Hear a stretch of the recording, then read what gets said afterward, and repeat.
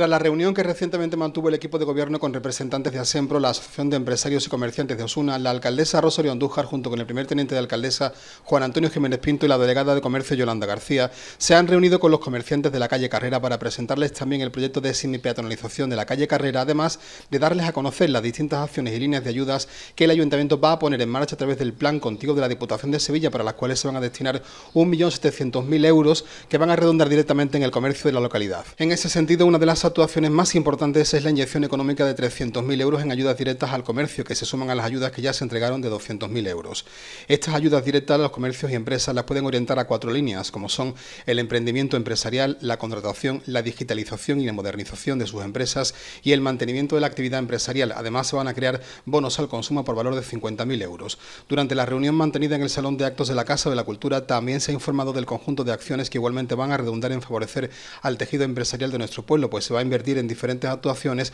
como la modernización y mejora de los espacios productivos tanto en los polígonos industriales como en zonas comerciales, en las cuales se instalarán parquímetros, cámaras de videovigilancia y toldos, así como en las instalaciones turísticas municipales. La formación profesional y la contratación de jóvenes titulados universitarios para el asesoramiento empresarial serán otras de las acciones que emprende el ayuntamiento y que de igual manera repercutirá de manera positiva en el sector comercial, un tejido productivo esencial de la economía local con el fin de que se pueda seguir generando riqueza y empleo en Osuna. El otro tema tratado en esta reunión ha sido la presentación del proyecto de semipeatonalización de la calle Carrera, que cuenta con una inversión de 700.000 euros. Es por ello la importancia de la presencia de los comerciantes de la zona en esta reunión informativa, con objeto de conocer sus opiniones e inquietudes con respecto a esta actuación. Sobre el inicio de las actuaciones de esta primera fase, que estará consensuada con Asembro, la fecha de comienzo podría ser durante el verano. Esta primera fase de semipeatonalización comenzaría en el inicio de la calle Carrera y concluiría a la altura de la calle Nueva, si bien la proyección total llegará hasta la altura de la calle San Cristóbal.